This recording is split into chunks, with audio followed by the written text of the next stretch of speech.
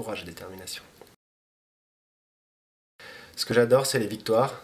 Euh, quand on va aider des salariés, quand on, fait des, quand on a des victoires, quand on change la vie du quotidien des gens, même à un tout petit niveau, c'est quelque chose d'extraordinaire et c'est ça que j'adore en politique.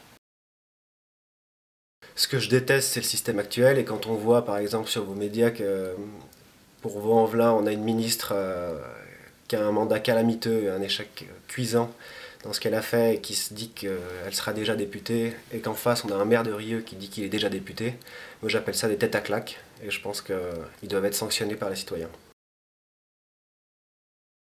C'est important parce qu'il faut donner à la France et à la grande patrie républicaine euh, des draps nouveaux pour le XXIe siècle. Je pense que les Français ont aujourd'hui envie d'être des acteurs et pas des spectateurs, et qu'il est temps que les Français prennent euh, des décisions et réfléchissent sur les sujets qui, sont majeurs dans notre pays. C'est un scrutin qui est capital euh, pour nous, puisqu'il faut que nous ayons des représentants, euh, soit à majorité si c'est Jean-Luc Mélenchon qui gagne, et là ce sera très bien puisqu'on pourra mettre en œuvre notre programme.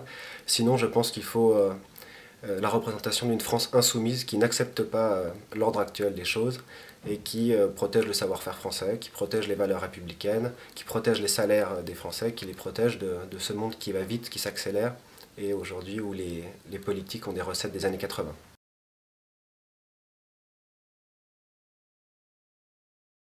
Non, parce que j'ai pas envie non plus forcément d'être élu à 85 ans.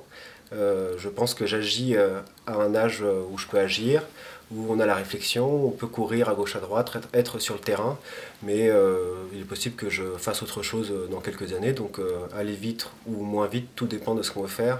Certains veulent faire carrière, d'autres non, et c'est mon cas.